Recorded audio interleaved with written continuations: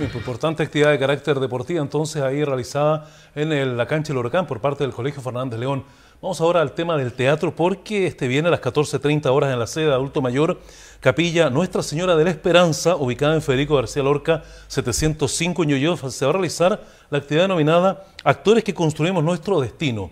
Angélica Herrera, presidenta del Consejo de Salud, Néstor Fernández Tomás, invitó a la comunidad para ser parte de este evento.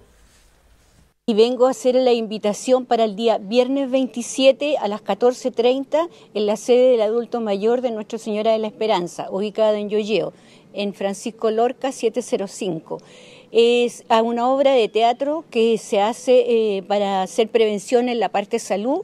Donde los actores son el matronas, enfermera, psicóloga, nutricionista, técnico paramédico y cinco personas nosotros del consejo para llegar a las personas para el autocuidado, prevención de, sus enfermedades. Así que les rogamos que asistan y los esperamos con los brazos abiertos.